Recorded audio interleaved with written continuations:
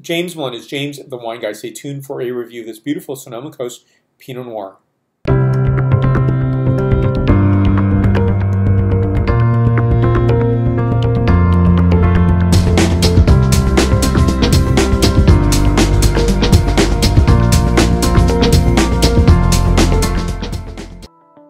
So what we have here, and first of all, I am at VidCon, and I'm in a different setting, and I just really want to explain that. So I'm here part of the community VidCon uh, pass here, and I just want to explain that because um, it looks like a hotel room, and that's because it is. I don't want anybody to think this is actually like where I, I live, um, but I wanted to give an explanation and why I'm doing this video because I can't take this back with me to San Francisco because it's open, and uh, no better time to do a video than now.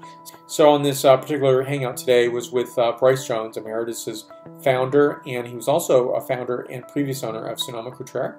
Mari Jones was also on this uh, hangout, and uh, she's a daughter of Brice Jones.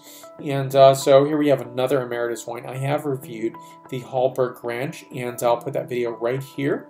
And uh, for me, two completely different Pinot Noir and uh, quite appreciable, I might add. So here we go, with the proper introduction of this wine. This is Emeritus, and uh, look at this beautiful package, uh, gorgeous screen packaging, simple and gorgeous, and you know I'm so attracted to the simpler the better, uh, for me at least, in, in terms of my uh, design sensibilities. So uh, this is Emeritus, this is a vintage 2011, and this is from the William Wesley Vineyard site in Sonoma Coast, 14% ABV, and uh, I don't know the clonal signature on this, but it is a fantastically beautiful wine, and something that's quite uh, uniquely different from its uh, brethren from the Hallberg Ranch and RRV, Russian River Valley. So for me, my goal is to really seek out these wines and to taste wines of uh, point of difference and also giving that regional characterization. So here, Sonoma Coast, it's completely different from the Russian River Valley wine.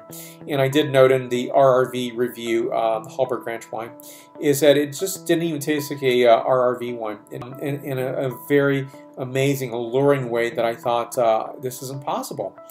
And uh, so here we go with the scent characterization, flavor profile, and the point score. Let me. So I had to bring this glass because uh, you know I couldn't stand a uh, hotel room glass. So pour enough on this wine so you can really swirl it around and uh, let the aromatics release. So on this, I'm getting some beautiful characterization of black plum, black cherry, eucalyptus, pomegranate some um, pine nut, uh, rose garden, and afternoon heat. So fantastic wine. So here we go next with the flavor characterization and then the point score. Mmm. Gorgeous wine. Beautiful notes of black cherry, tayberry, red pepper, tea, pine nut, bay leaf, and chili guajillo. It gives a 9.4 out of my 10.0 scale. Now, uh, definitely, if you get a chance to, I'll put the uh, website of the producer down below here. Uh, seek them out, uh, seek their wines out, uh, pay a visit. I have yet to visit, but I will. And um, I think it really shows that, uh, you know, that Brice has that provenance of experience and it goes into each and every bottle. For me, it's a taste. I'm glad to do this video, even if it's in my less than ideal setting but uh, I didn't want to let this uh, this memory elapse without doing a video. So thank you so much for watching.